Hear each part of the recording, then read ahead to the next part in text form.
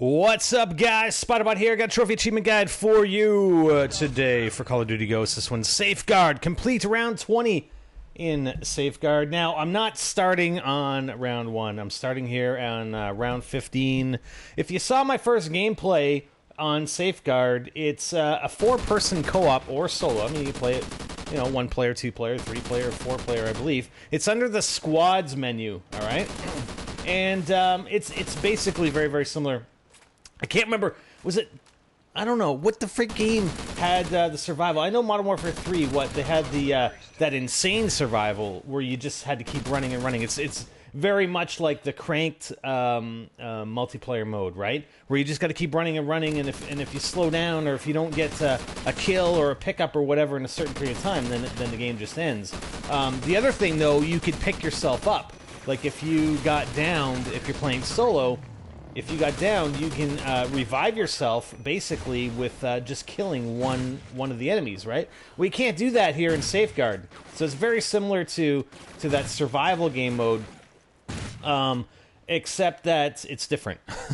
uh, you get drops, as you can see. You get uh, weapon power ups. I'm on I'm on like level 13 for this weapon. You get uh, supply drops every few rounds. Like the very first round, you get all these these uh, these kill streak packages that uh, that come down, and I'm not even going for them because I already have three. Right. So as soon as you start off, you get all these things, and then every few rounds, like I think round five or six, and then like every five rounds approximately. Uh, you get those drops and you can refill your kill streak reward slots. And you see on the right hand side, I have them, right? Um, what I found, obviously, running solo is that uh, I got you know I got to find a place to defend. If I'm out in the open, I probably pick the the not necessarily the best map for this uh, for completing beyond round 20, and it has to be finishing round 20, so you have to get past it. Um, so you know it's a pretty open map, and uh, this is probably one of the best spots that I've found for uh, defending, at least from a, a solo perspective. And this shotgun, this F, it's a FP6, I believe spectacular, spectacular. All right, so you do have one opportunity when you're playing this solo to uh, get revived. You can call in a squad mate here, and uh, he'll come and revive you. Uh, but he doesn't last forever, okay? He doesn't last forever. He doesn't just come in, revive you, and then leave. He just stays with you. It's like having, you know, having this AI player with you. Um, although when he dies, if he, uh, and I'm not sure if it's based on total damage that he takes or if he just gets down like I did, um, by taking uh, a significant amount of damage in a short period of time, then he disappears and he's gone. And if you get if you get downed again, the game's over. That's it. So uh, yeah, my two favorite guns, I think, I think so far from what I've seen in the campaign, in extinction mode, uh, as well as here on uh, Safeguard, uh, is this uh, this LMG and the F- it's the FP6, I believe, the shotgun. The shotgun is freaking awesome. I mean especially when you're leveling up that that gun. And I ended up, uh, I think I made it to like round 23 or something like that before I got downed, and uh, it was right after my buddy disappeared. All right. So what you want to do because you get the drops every five or so rounds, you want to use them. I try to use, uh, I try to survive, you know, maybe a round or two before using them and then I try to use one per round. Uh, there are some kill streak rewards that they give you that are uh, controllable. One, um, I think, is a, uh, scout chopper, or whatever, where you actually they, it actually pulls you into the chopper and you're a sniper. I don't really like those ones. Um, I mean, that one's not even that bad it drops you off wherever, um, like once that kill streak is over with, that uh, that reward is over with because it's time based. It drops you off where the chopper is sort of hovering at the time. Um, the other one, though, there, there are a couple others I think that uh, are fully controllable, where you know you're opening up your laptop and you're vulnerable on the ground, and you're controlling, you know, like a, a, a missile coming down to uh, to fire upon, rain fire upon your enemies, right? Problem is, you're totally vulnerable, especially especially when you're playing uh, a solo. You're totally vulnerable. So those kill streak rewards, you definitely don't want to pick those things up. And you just see how effective the shotgun is. I mean, it's insane. It's it's totally. I know. I don't like calling things OP, but it's OP. I'm just saying. uh, especially when I have the um, like another player with me.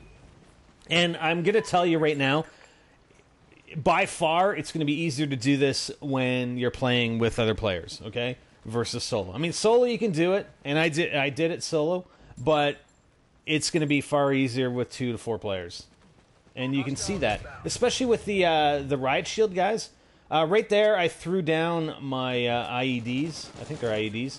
Uh, I threw them down before I resupplied because I'm getting two more. I basically just refilled, right? So I may as well use them.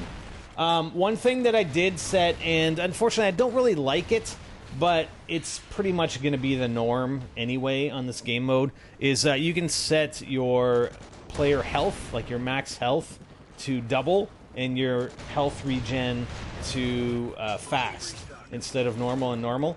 So I just suggest you do that anytime you play, just because, again, uh, I haven't really been online, but I'm pretty sure that uh, the leaderboards are probably going to be full of people that, you know, have um, double health and have fast health regen. So that's what I did here in order to make it to uh, to round uh, 20. And this this freaking thing this uh, death machine I've got is absolutely fantastic. I mean, we've. well, I think we would we start at weapon level one or two or something like that. I think I. I don't know if this is my first one that I've had or the second one, but uh, absolutely insane.